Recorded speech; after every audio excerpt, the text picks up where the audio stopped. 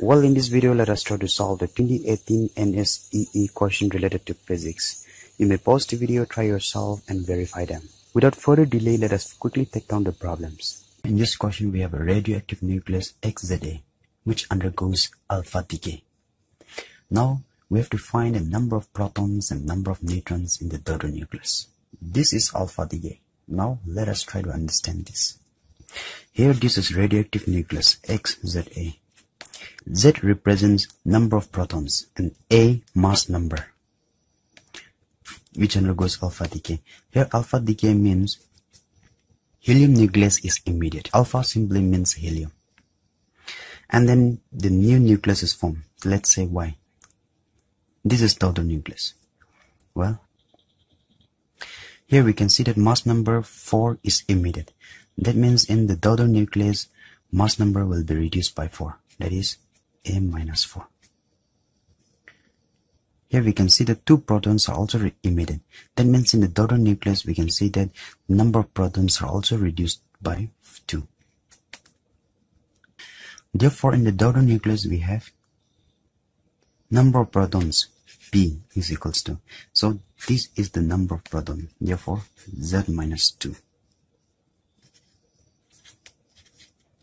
We know that mass number is equal to number of protons plus number of neutrons. Therefore, mass number is given A minus 4. This is the mass number, so A minus 4. And again, number of protons we have Z minus 2 plus we have to find N, number of neutrons. Here, we will do some simple simplification you bring all this term to the left hand side so it will be. Um, minus 4 plus 2 it will be minus 2 well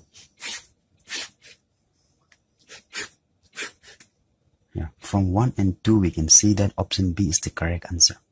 So in the next question we have if the refractive index of a material of an equilateral prism is 3 then we have to find angle of minimum deviation of the prism. To solve these questions, let us turn to ray optics and optical instrument. Here we can see a ray of light passing through a triangular glass prism. This is the total deviation. Now, total deviation will be equal to minimum deviation when R1 is equal to R2. That is refracted ray inside the prism becomes parallel to its base, BC. The refractive index of the prism is given. So we have to find dm. That is a minimum deviation. Therefore, let us read it once more. Here A is the angle of prism. Given refractive index, A will be 60 degrees since it is an equilateral prism. Therefore,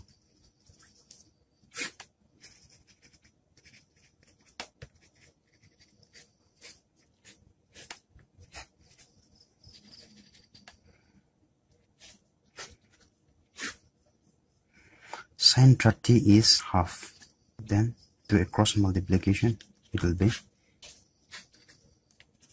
no root 3 by 2 is your sine 60 degree.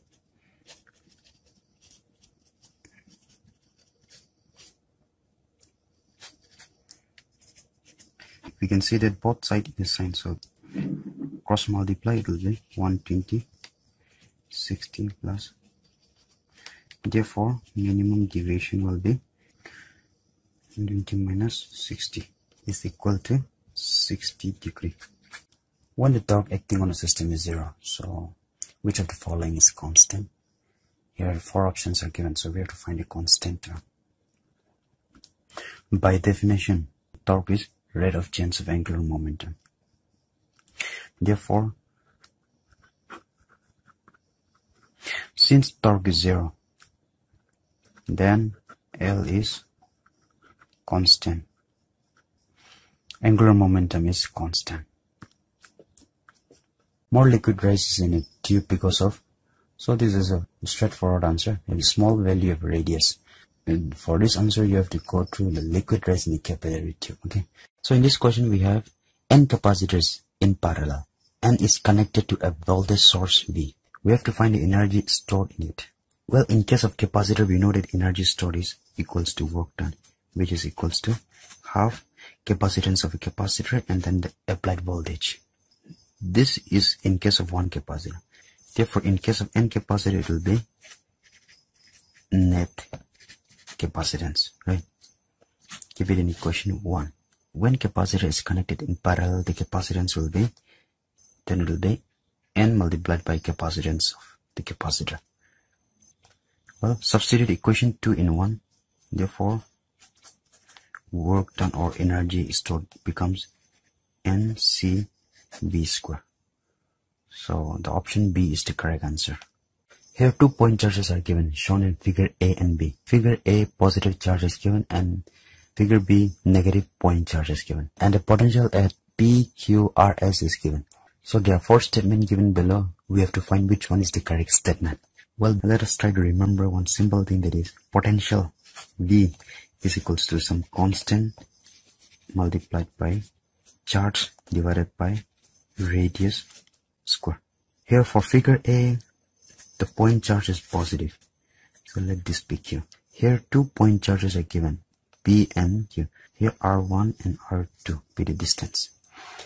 Well, potential P, say potential at point P is due to this positive charge and potential at point Q is also due to this charge okay? So that's here the charge is plus divided by R1 square. And VQ is R2 square. Here we can see that the potential at point P is close to this charge. Then the potential at point Q. So Vp will be greater than Vq, right? As the point moves away further from the positive charge, then the potential decreases. Therefore, Vp minus Vq will be positive. From figure B, this time the point charge is negative here. And then there are two point charges, R and S. So let this be R1 prime and R2 prime well you apply the same thing but this time the charge is negative. Then it will be r1 prime square and vs is yes. Here we can see that the potential at point r is close to this negative charge then potential at point s. So in the case of negative the things will be reversed. That means potential at point S will be greater than the potential at point R. Okay. Why? You can just put the value and then say, okay, for this distance, you can just take an example of 2 and 3 and then see. You will, you will see that the potential at S is greater. That is, VR is less than VS. Therefore, VR minus VS will be negative. So from these two results, we can see that C is the correct answer. Here we have a proton and an alpha particle are accelerated through the same potential difference. So, among the four options, which one will be the correct statement? Here, the de Broglie wavelength is Planck's constant divided by momentum. Here, momentum is mass and velocity. Here, for proton, you can see the atomic mass is 1. Therefore, the de Broglie wavelength for proton is h by 1 into v. And for alpha particle alpha particle is helium uh, and the atomic mass of helium is 4 now the de Broglie wavelength for helium is h by 4 into v. These two will be same for both the particles because both are accelerated at same potential difference. Now we can see that the de Broglie wavelength for helium the denominator is greater. That means will be less than yes then the de Broglie wavelength for proton is greater than de Broglie wavelength for helium okay? Magnetic flux linked with the coil is given. And we have to find the induced EMF at time equals to 2 seconds. Given magnetic flux linked with the coil. See here induced EMF is equals to rate of change of magnetic flux. That is EMF is equals to d phi by dt is equals to.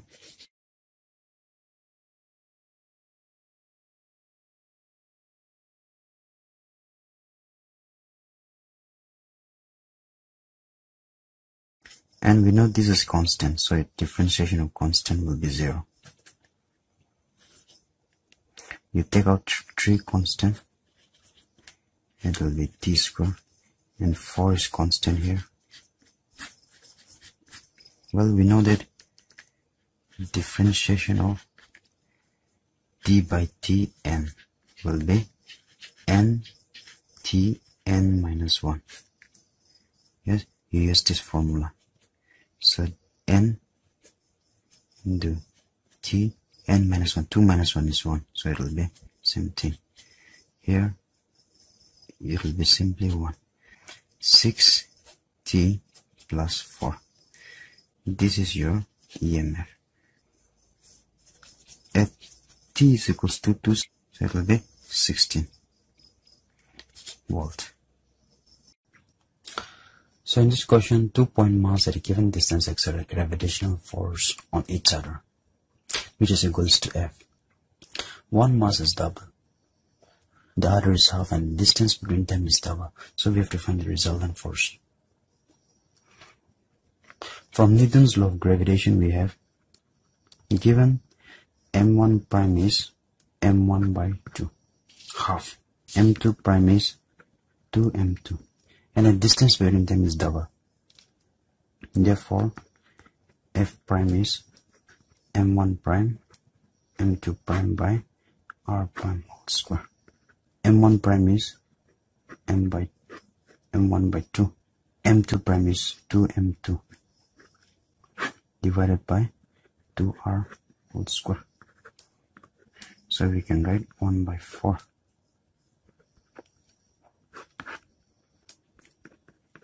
now look at this one. This is same as this one right? So we can write f in place of this one. So this is so the resultant force is 1 by 4 times the f. The question says the escape velocity of a body projected vertically upward from the surface of the earth is 11 km per second. So now the given condition is if the body is projected at an angle of 45 degree with the vertical, then we have to find escape velocity. Here, this is the escape velocity. Now in this relation, you can see that escape velocity is independent of the angle of projection. That means at whatever angle the body is projected, escape velocity will remain the same. So it will still be 11 km per second. Tube P has both ends open, while tube P has one end closed.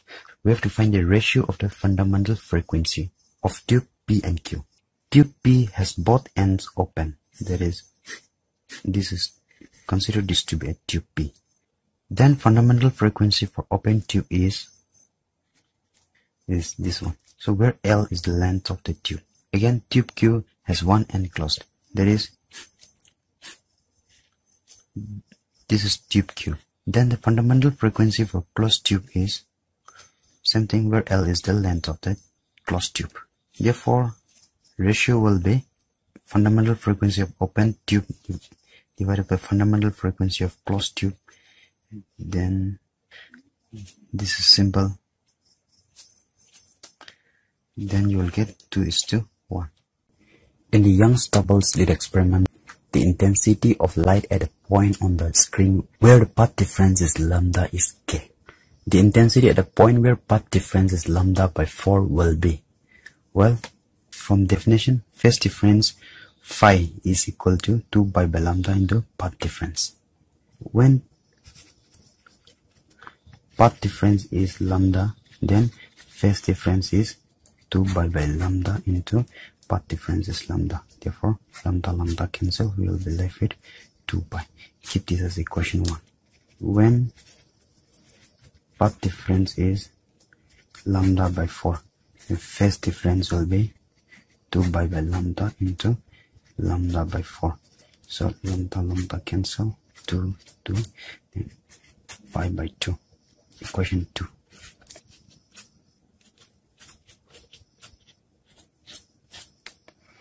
So the expression for intensity is given by this. Where phi is the phase difference given. When path difference is lambda intensity is k and phase difference is 2 pi from equation 1 therefore intensity is k. You substitute this one. So it will be since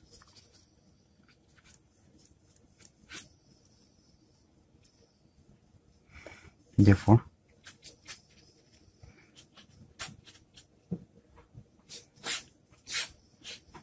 Keep this as equation 3 when path difference is lambda by 4 we have to find intensity given. Phase difference is pi by 2 from equation 2 we have to find intensity.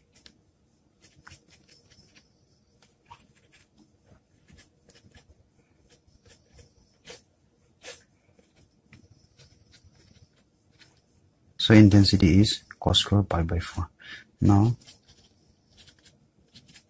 from equation 3 k by into cos cos pi by 4 is 1 by root 2 and here we have cos square since cos pi by 4 is 1 by root 2 and here we have cos square so it will be square 1 by root 2 whole square is so intensity is k by 2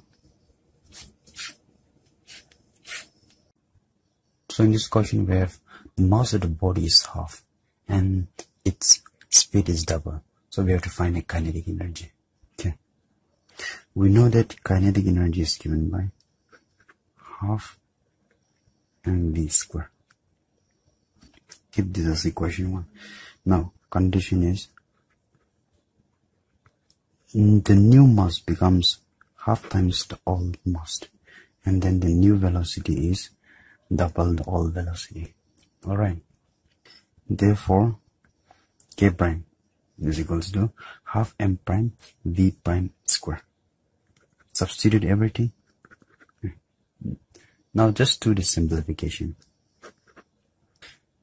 In place of this one, we can write it from equation 1.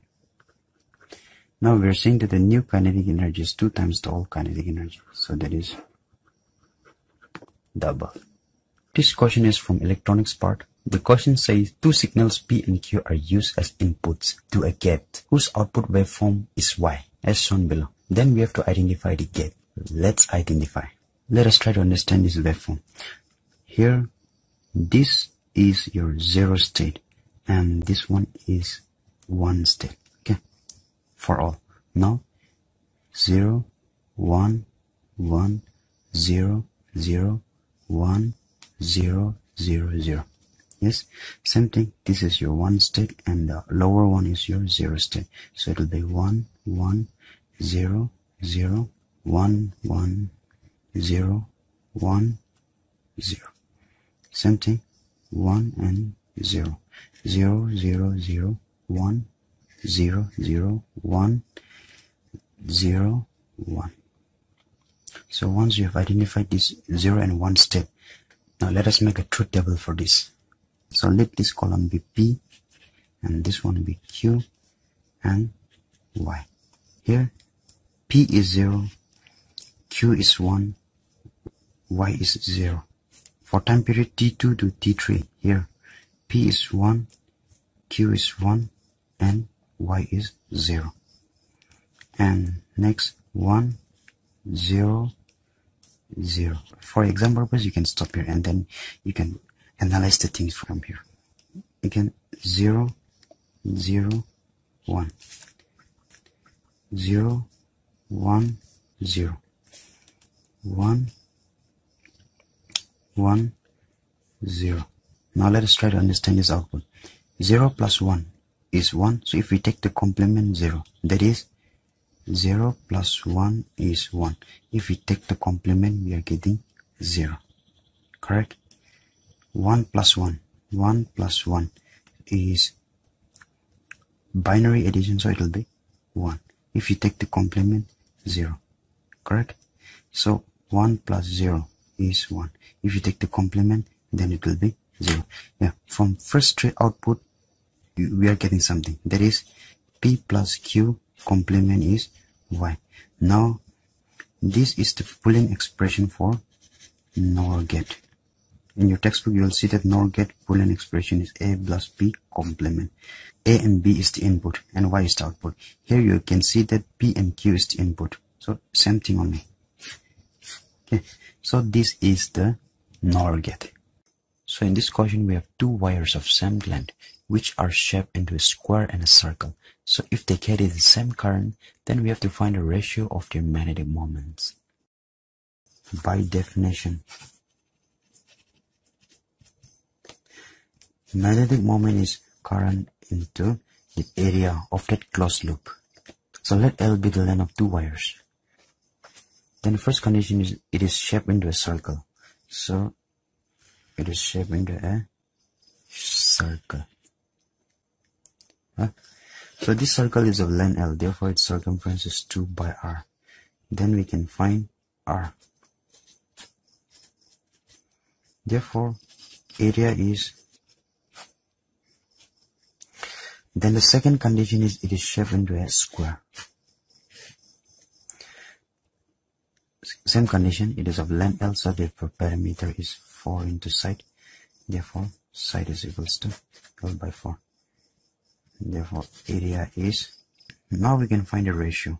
Magnetic moment of circle divided magnetic moment of square is I into area. Area of circle is, and area of square is given. So this I, I cancel Therefore, the ratio is 4 is to pi. So we have to find the dimensions of the modulus of elasticity. And then we have to compare them, like whether it is same state of energy, pressure, power, or torque. So let us see. Modulus of elasticity is defined as stress by strain. Stress is force by area. Okay. And then strain is change in length by the original length. We have to find the dimension analysis. So this change in length will also have the dimensions of L and this original length will also have dimensions of length. So length and length dimension will cancel. We will be left with force by area only. Modulus of elasticity in terms of dimension is F by A. We know that pressure is force per unit area, right? In terms of dimension, same. That means modulus of elasticity has a dimension same as of pressure. So the moment of inertia of a thin uniform rod of mass m and length l about the axis passing through its midpoint and perpendicular to its length. So that means the concept is we have a thin rod and then about the midpoint see if axis of rotation is about the midpoint, then the moment of inertia is I naught. Yes. But now they have changed the axis of rotation here. Now from here, the rod is rotated, okay? If this rod is L, then from here to here it will be L by 2.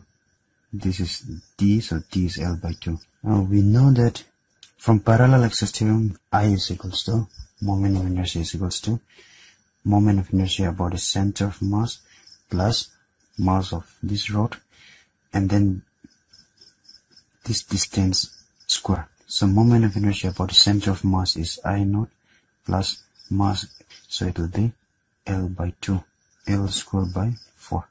Well in this question we have in an adiabatic chance like which one will be the correct option. For this we have from thermodynamics see See the highlighted portion. The system is insulated from the surroundings. If we look at the third and the fourth option, then the second part is satisfied. That is, the system is thermally insulated from the surroundings. Now, among these two, which one will be the correct option? Let us try to find out. Since the system is insulated from the surroundings, then the change will occur only within the system. Because of the transfer of energy to the system or from the system that transfer of energy in the form of work. In the last paragraph, we can see as a result, some chemical and physical processes occur too quickly. That means option C satisfied that condition. Here in this question, an alternating voltage E equals to E naught sine omega t is applied to a circuit containing a black box Z. Current in the circuit is found to be I equals to I naught cos omega t.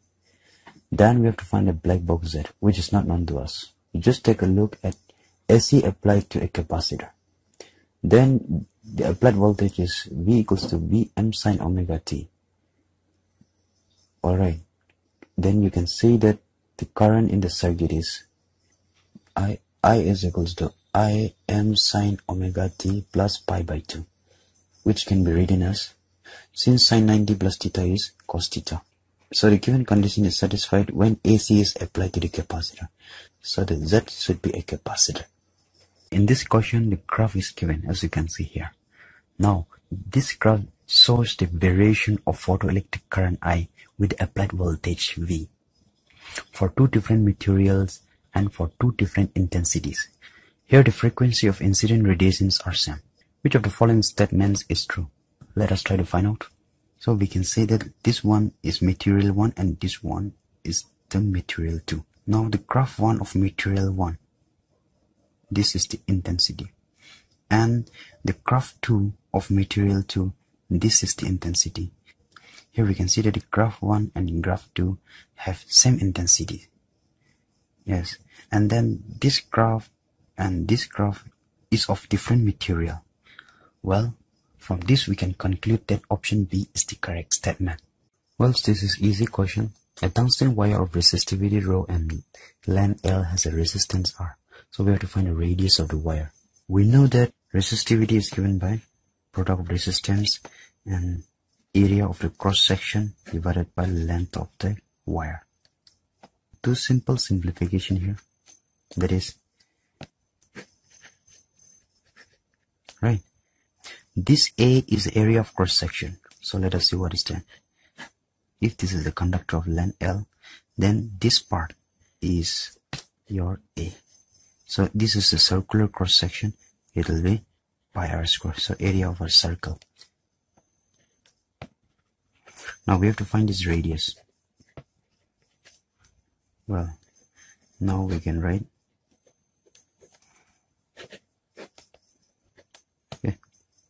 So option B is the correct answer. In a viscous medium, a particle is falling. So that means the particle will have a force and then buoyancy force because it is a viscous medium so it will have buoyancy force and then just like the friction it will have a dragging force also upward dragging force so if you do this for the terminal velocity you will get this. Yeah. Here we can see that velocity is directly proportional to r squared the rest are all constant. And the ratio of radii consider let r1 is equals to x and r2 equals to 2x then r1 squared by r2 square. So it'll be x square by 4, x square, 1 by 4. Ratio to terminal velocity. Therefore, v1 by v2 is equals to, therefore, v1 is to v2 is equals to 1 is to 4. So in this question, we have to find the relation between volume and temperature for a sample of water in the range 0 to 100 degrees Celsius. So let us do that. For water, at 0 degrees Celsius it will be solid. That is in ice. 100 degrees Celsius it will be and in terms of volume gas will have more volume than liquid then followed by solid. Because molecules within the gas are further apart and are weakly attracted to each other. So the volume of the gases increases more than the volume of solid or liquid. Okay, so this is the reason. Now, let us try to plot the relation. Let this be volume axis and let this be temperature axis origin now from 0 to 100 degrees celsius let us see when water is at 0 degrees celsius it will have some volume because it is in a solid state. But as we increase the temperature what will happen? As we increase the temperature we will see that the volume will decrease. But as we increase the temperature further like say to 100 degrees celsius then volume will increase. Okay. volume will further increase now in this state it will be a solid state. Here it is in liquid state. And at 100 degrees celsius it will be vapor. So from this relation we can say that the option D is the correct answer. The root mean square speed of the molecules of a gas is so you can see this is the VRMS so let's rewrite this equation so take the square root both side. You can write like this hmm? here. That is VRMS is directly proportional to the square root of the temperature T because there these are all constant term and here there is no pressure no? There is no any point of uh, pressure here. Length of a string tied up to a rigid support is 40 centimeter. So we have to find the maximum wavelength of a stationary wave produced on it so the things are simple the given condition is there's a 40 centimeter string is tied up to a rigid support Now, to produce the maximum wavelength we should have a one antinode in the middle Okay. This is called antinode. When there's one antinode in the middle, the wavelength is 2 times the length. Therefore, the maximum wavelength is 80 centimeter. In this question, we have a system which is taken from state A to state C along the path ABC. So it is found that the heat and work done is 65 and 35 calorie respectively. So we have to find the work done when the system is taken along the path ABC given heat is 46 calorie. So let's try. From first law of thermodynamic we have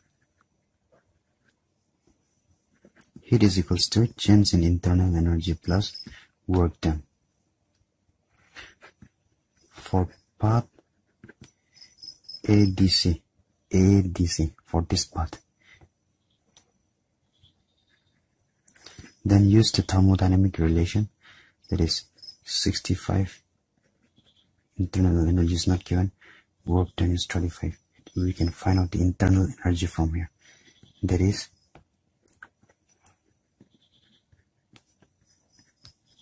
which is again for path ABC that is for this part a, B, C. Q is 46 Kelvin.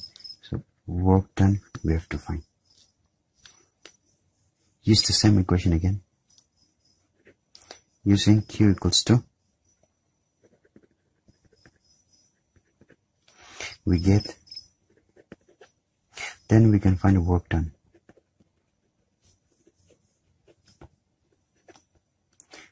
That is 16 calorie.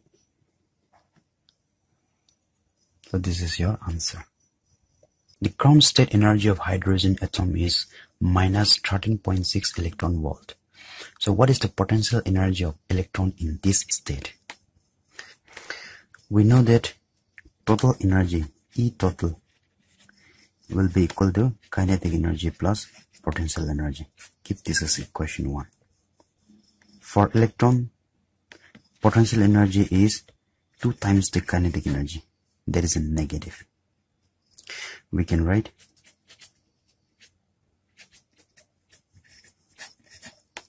yes? Now substituting 2 in 1 therefore then it will be right therefore potential energy is 2 times the total energy here in our case, energy is given, that is minus 13.6. Therefore, potential energy will be minus 27.2 electron volt. A magnetic field can be produced by. So from Biot-Savart law, we know that all magnetic field that we know are due to. So in a closed bracket, we have moving charges. So magnetic field can be produced by a moving charge. In option B, we have a changing electric field. So when electric field changes, it accelerates the positive charge. That means the charge is moving. So option A and B, they both can produce magnetic field.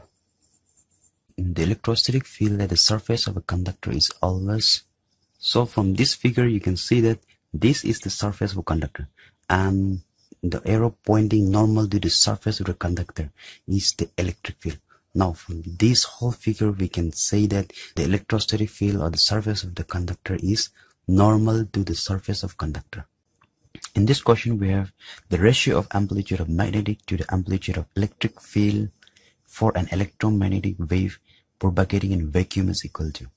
For this answer, from the chapter of electromagnetic waves, under the topic nature of electromagnetic waves, we can see that the magnitude of the electric and the magnetic field in an electromagnetic waves are related as. You can see this where B and E represents magnetic and electric field. Well, the ratio of magnetic field to the electric field is equal to 1 by C, right? That is the reciprocal of the speed of light in vacuum.